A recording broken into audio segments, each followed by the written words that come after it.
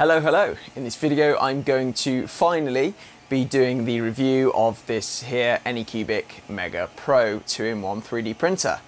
Uh, it's taken a little while because this printer actually stopped working after about 30 hours of printing, but it's been a good excuse to test out the Anycubic support and see if it's any good or not.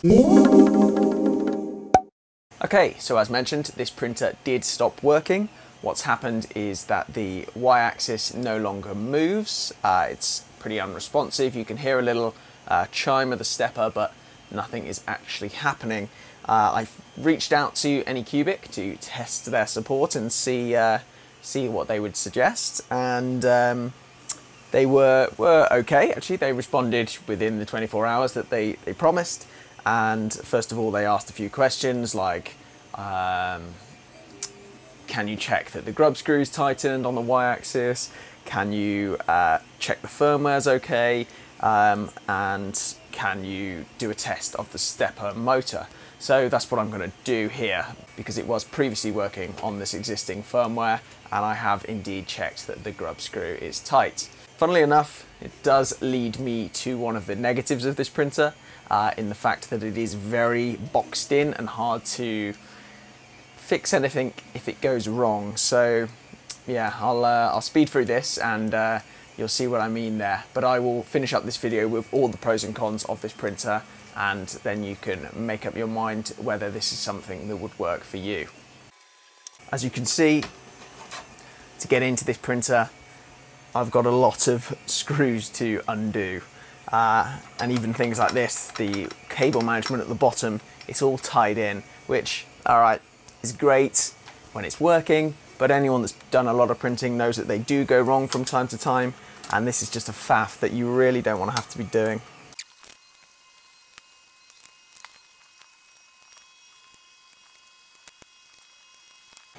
Okay, so once you've taken the eight screws off of the bed, you can then remove the base plate and have a look at what's going on inside. It's interesting actually that the stepper motor down here has got some sort of sealant on it, sealing in the, uh, the cable. Weird uh, gel wax stuff holding it all together.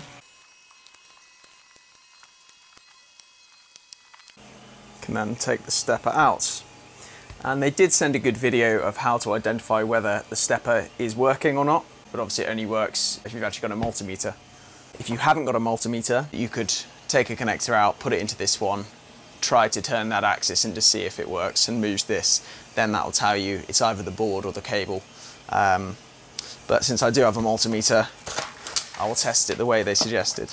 Right, so I've got to test pins one and three and see if it beeps.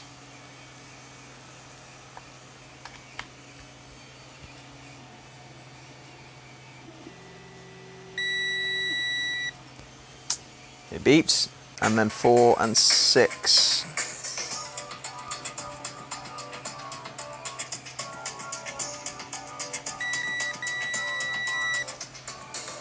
It beats. Okay. So there's no problem with the stepper motor, which means it's something else.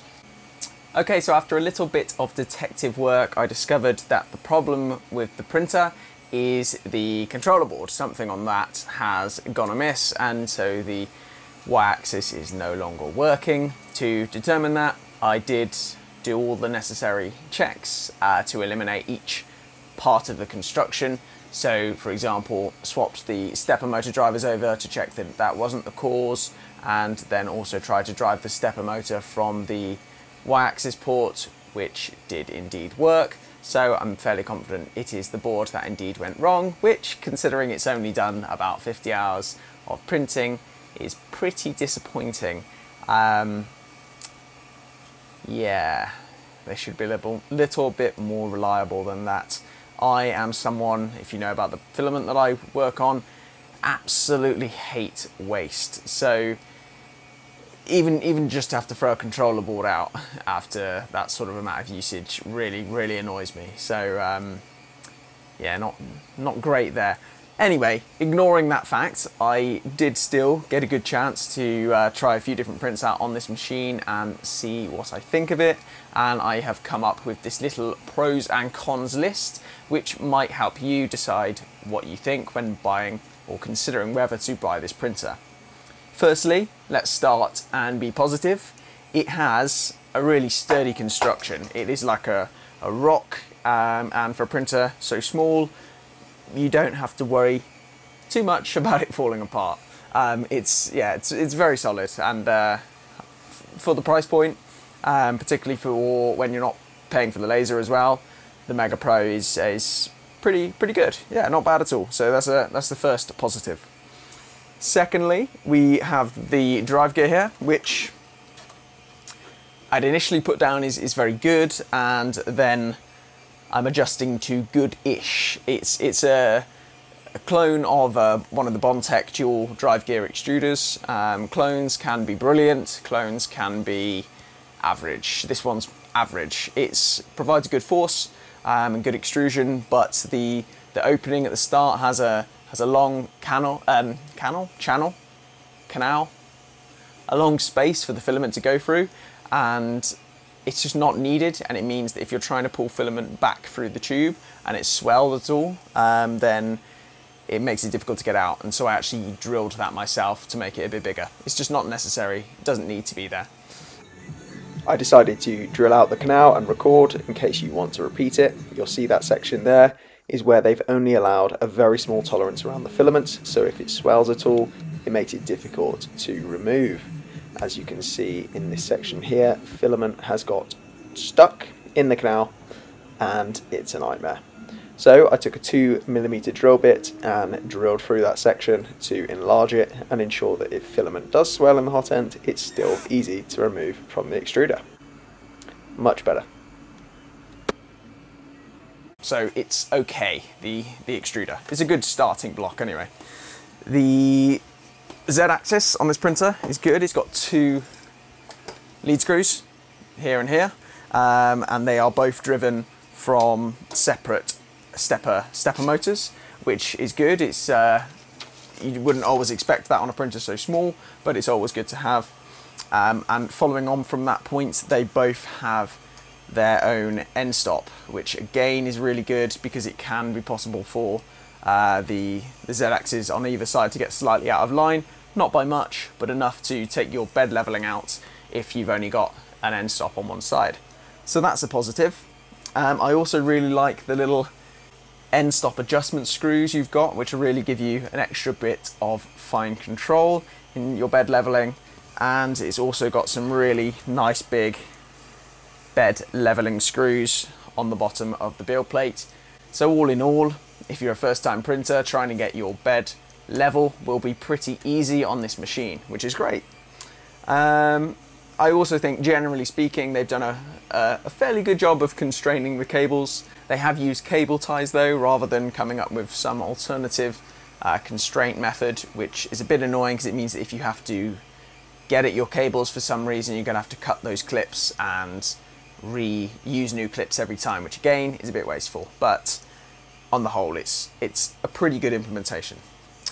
Right, so that's the, the positives. Um, now onto the negatives. Firstly, noise. This printer is advertised as having the Trinamic stepper motor drivers, and so you generally, when you read that, expect it to be pretty quiet as a machine goes, as well as obviously having the benefits that they provide in terms of uh, control. However, this printer is really, really loud.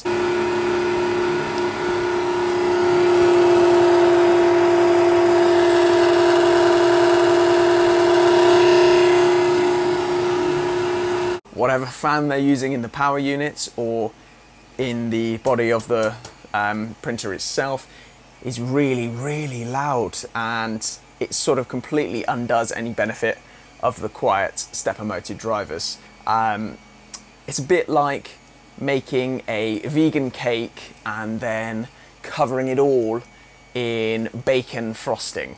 Not only does it make the whole thing a bit pointless and undo all the work that you did in the start, it, yeah, just leaves a bit of a unpalatable taste. But there we go. Such as such as that. Second thing, um, the spool holder, the stock spool holder that comes with it is a bit rubbish.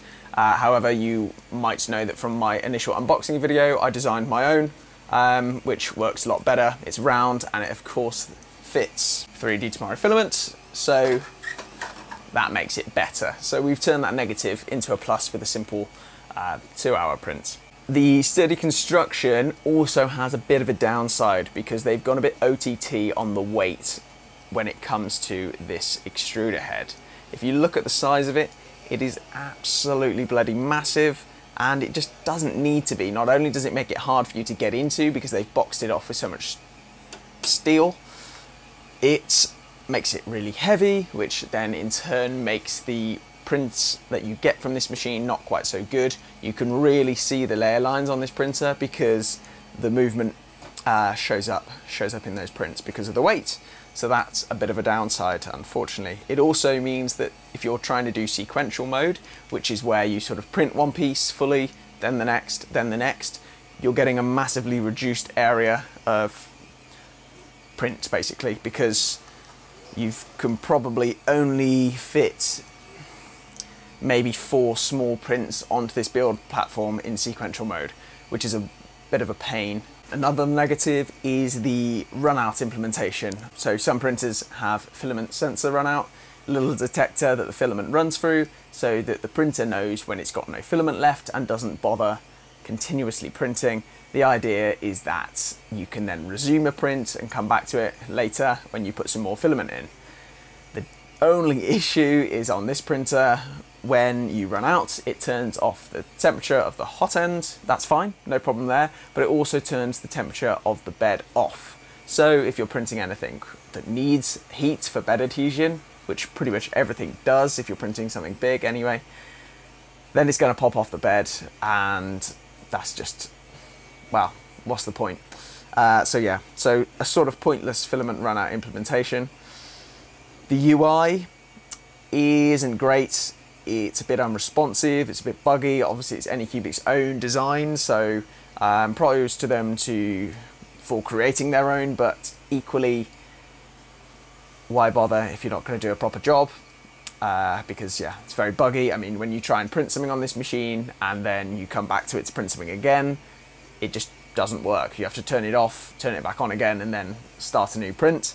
Um, you know, it's not the end of the world, but it's just a bit annoying. Uh, I sort of touched on this when I was talking about the cables, but it has quite a closed off design, uh, meaning that if anything goes wrong, it's a nightmare to try and fix, and certainly very time consuming, a lot more so than it would need to be. Uh, so that always annoys me uh, because I don't like wasting time. And yeah, sometimes it's a bit unresponsive. I touched on that with the UI.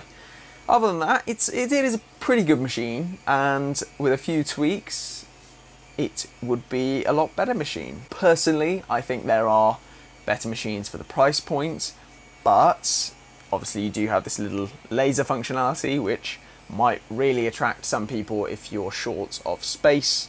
Um, but personally, I think if you're interested in printing, you could get a better printer, and if you're interested in the laser side of things, you could get a you know a dedicated laser. Even even desktop uh, lasers which would be a lot more powerful than this thing and safer because they'd come in a protected box. Um, yeah, I think if you bought one of those individually, you, you wouldn't come out too much more expensive than this printer and you'd have two better pieces of kit. So that's what I'd recommend. But um, if you love the idea of being able to do both on one unit, then by all means, this printer could be okay for you. Anyway, I hope you enjoyed this review.